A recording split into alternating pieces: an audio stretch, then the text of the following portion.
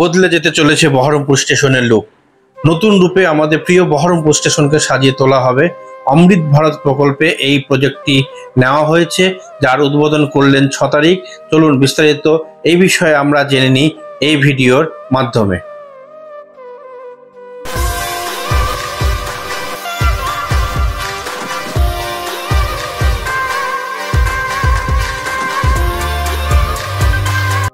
আমাদের প্রিয় বহরমপুর স্টেশনটা অমৃত ভারত প্রকল্পে নতুনভাবে সেজে উঠবে। হাজারো হাজারো মানুষ এখানে ওঠানামা করে। তার জন্যই এই উদ্যোগ নেওয়া হয়েছে। মুর্শিদাবাদ জেলার অন্যতম একটি ব্যস্ত স্টেশন হল বহরমপুর কোর্ট স্টেশন। যেখানে বহরমপুর কোর্ট, বহরমপুর যে আমাদের মেডিকেল কলেজ, অর্থাৎ মুর্শিদাবাদ মেডিকেল কলেজ সহ নানা সরকারি কাজ এখানে হয়। সরকারি, বেসরকারি নানান অফিস এখানে অবস্থিত।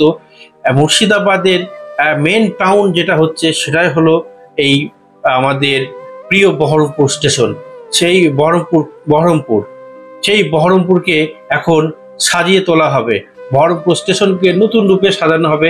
তার কাজ অলরেডি শুরু হয়ে গেছে।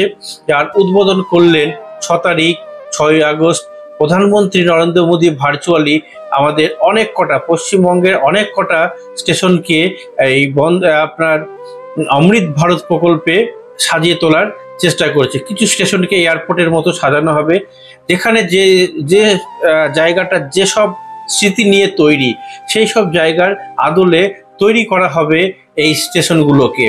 কলকাতার একটা স্টেশনকে একদম এয়ারপোর্টের মতো লুক দেওয়া হবে। বিভিন্ন স্টেশনকে বিভিন্ন রূপে সাজানো হবে। মুর্শিদাবাদে যে স্টেশনটা পেয়েছে, সেটা হলো এই বহরমপুর কোর্ট আজিমগঞ্জ জংশন এগুলোকে নতুনভাবে সাজিয়ে তোলা হবে। মুর্শিদাবাদ কোর্ট স্টেশনটা জংশন না হলেও এটা একটা ব্যস্ততম রেল স্টেশন।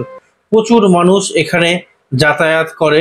প্রত্যেকটা দিন এখানে হাজার হাজার মানুষের টিকিট কাটা একটা ব্যাপার আছে।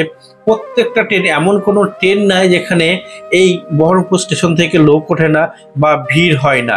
কিছু আগে থেকে রেলের যে গতিটা স্টেশনটাকে সাজানোর গতিটা অনেকটা হয়ে গেছে। বাঁ দিকে দেখতে পাচ্ছেন স্কেলটা লাগানো হয়েছে।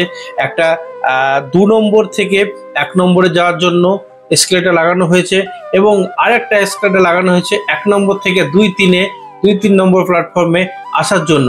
সেখান থেকে এই দুই তিন চার, অর্থাৎ চারটে প্ল্যাটফর্ম অলরেডি আছে। তার পাশে আরও একটা প্ল্যাটফর্ম তৈরি করা হবে, পাঁচ নম্বর প্ল্যাটফর্ম এবং সেখানে আরও একটা বিল্ডিং তৈরি করা হবে। ইন্টারলকিং সিস্টেমের জন্য বিল্ডিং তৈরি করা হবে। এত ট্রেন বহরমপুর স্টেশনের উপর দিয়ে যায়। তার জন্য চুয়াপুর রেলগেটকে ওভার ওভারব্রিজ করা হয়েছে। ওভারব্রিজ করার পরেও চুয়াপুর রেলগেটের যে তল যে তলে দিয়ে আন্ডারপাসও তৈরি হচ্ছে। বিভিন্নভাবে বহরমপুর স্টেশনকে সাজিয়ে তোলার চেষ্টা কিন্তু চলছে। আগে দেখতাম বহরমপুর স্টেশনে অনেক গাছপালা লাগানো থাকতো, অনেক শেডের মাধ্যমে দিয়ে যে আমরা কিন্তু একটা বাগানের মতো ছিল।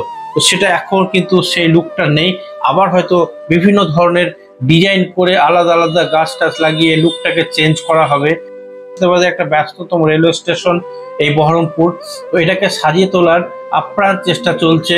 এখন কাজ আরম্ভ হয়ে গেছে। পিছন দিক এবং সামনের দিকে হয়তো আরও একটা করে ওভার ফুট ওভারব্রিজ তৈরি করা হবে বা বা যে রেল প্ল্যাটফর্মগুলোকে প্ল্যাটফর্মগুলোকে বাড়ানোরও চেষ্টা চলছে। কারণ যদি না বাড়ানো হয়, তাহলে উত্তরবঙ্গগামী যেসব ট্রেনগুলো আজিমগঞ্জ অর্থাৎ নসিপুর রেল ব্রিজ হয়ে আজিমগঞ্জ জংশন যেটা মিট করবে, এটা ফেব্রুয়ারি মাসের মধ্যে চালু হয়ে যাবে। আজিমগঞ্জ জংশন থেকে মুর্শিদাবাদের যে ট্রেনের যাতায়াতটা, সেগুলো চালু হয়ে যাবে নসিপুর রেল ব্রিজের মাধ্যমে। তখন কিন্তু একটা সমস্যায় পড়তে হবে সাধারণ মানুষকে, কারণ এখানে বাইশ বগির ট্রেন কিন্তু দাঁড়াবে না। তার জন্যে প্ল্যাটফর্মগুলোকে বড় বড় করা হচ্ছে যাতে বাইশ বগি, চব্বিশ বগির ট্রেন যাতে হামেশা দাঁড়াতে পারে। এখানে একটা মালগাড়ি রাখার ইয়ার্ডও হতে পারে। কারণ এর আগে প্রস্তাব হয়েছিল যে মালগাড়ি রাখার একটা ব্যবস্থা করা হবে। কারণ চারটে প্ল্যাটফর্ম অলরেডি আছে, পাঁচ নম্বর প্ল্যাটফর্মেরও কাজ চলছে। অর্থাৎ পাঁচটা প্ল্যাটফর্ম দেখা যাচ্ছে বাঁ দিকে চার ডান দিকে কিন্তু আরও একটা প্ল্যাটফর্ম তৈরি হয়ে আছে পাঁচ নম্বর। পাঁচটা প্ল্যাটফর্ম আছে। এরপরে বাকি কাজগুলো চলছে। সেটগুলোকে আশা করি চেঞ্জ করা হবে, কারণ এখন এই সেটগুলোর অবস্থা খুবই খারাপ। ফেটে গেছে, সব বৃষ্টি পড়ছে, জল পড়ছে, এগুলোকে চেঞ্জ করা হবে। এই যে এই যে প্ল্যান্টগুলো লাগানো হয়েছে, মশলা মাখানোর প্ল্যান্ট এগুলো আন্ডারপাসের যে কাজ চলছে, সেগুলো কাজ চলছে। এর পাশেই কিন্তু একটা ইন্টারলকিং এর বিল্ডিং তৈরি করা হবে, যত তাড়াতাড়ি সম্ভব। কিন্তু কাজ শেষ করার প্রকল্প নিয়ে নরেন্দ্র মোদী ছাব্বিশে আগস্ট ভার্চুয়ালি উদ্বোধন করেছেন। এই যে অমৃত ভারত প্রকল্পে বহরমপুর স্টেশন সহ পশ্চিমবঙ্গের অনেক স্টেশনগুলোকে অমৃত ভারত প্রকল্পে সাজিয়ে তোলা হবে। তো দেখা যাক কতদিনের মধ্যে আমাদের এই অমৃত ভারত প্রকল্পের মাধ্যমে বহরমপুর স্টেশন নতুন রূপ পায়। কীভাবে সেজে উঠছে আমাদের সেই প্রিয় বহরমপুর স্টেশন? যেটা একদম মুর্শিদাবাদের প্রাণকেন্দ্রে অবস্থিত। মুর্শিদাবাদের একদম মধ্যেখানে অবস্থিত বলা চলে এই বহরমপুর স্টেশন। বহরমপুর পোর্ট সহ নানান কাজে নানান কাজে ফরাক্কা থেকে লোক আসে এবং নদিয়া থেকেও লোক, প্রচুর লোক এখানে বহরমপুরে আসতে হয়। তো এই হচ্ছে মোটামুটি আজকের আপডেট তো ভিডিওটা ভালো লাগলে লাইক কমেন্ট শেয়ার করবেন এবং চ্যানেলটিকে সাবস্ক্রাইব করতে ভুলবেন না। ধন্যবাদ।